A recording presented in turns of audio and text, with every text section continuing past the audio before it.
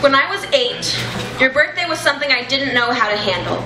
I was the fourth wheel that watched Arthur in the other room while a stranger paraded my kitchen and didn't even stay for the cake.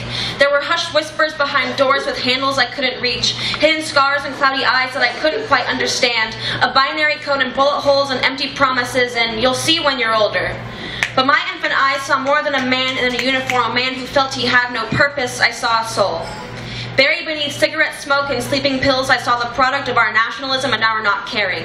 You were the hero that we failed to give a medal to, the kind of angel that wears a black coat cloak and broken wings. The God that we should have worshipped but swept over because you were brave enough to swallow a grenade as big as fear just to find a corner to call your own. You were the deviant of popular expectation. You fired a gun to keep our parents from fighting and they didn't even tell me to say thank you. So to you, Birthdays were tallies on your chest. You didn't need to celebrate another year of living death, but to me, your birthdays meant hope. They meant honesty and reality because no matter how many doors they closed on the truth, you remained. You were not a sugar-coated bubble wrapped lie like the shit they wanted us to believe. Oh. You were not glorious. You were Boo Radley. Thorns covered your heart, but roses bloomed from them in the spring, and I wanted to know you.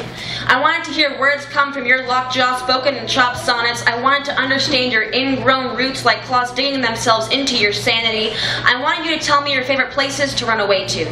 They didn't have to be real. Tell me about sleeping in a room full of ghosts. Tell me about how, before I was born, tell me how much you have to drink before you forget. Tell me how you learned to love again. And if you can stay on this earth long enough to accept our opacity, then I suppose I can make it through tonight. Illuminate the path with your white lighter, and when it runs out of fluid, we can sit with the TV on to pain companionship. You will never be alone. You will have my clammy hands. I'll try not to flinch when you squeeze them too tight. You can take all that you need from me, as long as you don't take any more from yourself. Not everything has to be an uphill battle. Breathe. You're 10 steps from the finish line, breathe. Ignore the sirens, it is not you who is on fire, breathe. Their conflict is not yours to fight, put down your armor and breathe. Breathe until all you can hear is your breath on the window pane. It is not your birthday and we are not children, we are the survivors. You are not a catatonic discharge, you are an honorable one. I will be damned if they make you numb. And I may not be pro-war, but I am pro-resistance and I am pro-fighting for what is right and I will always, always fight for you.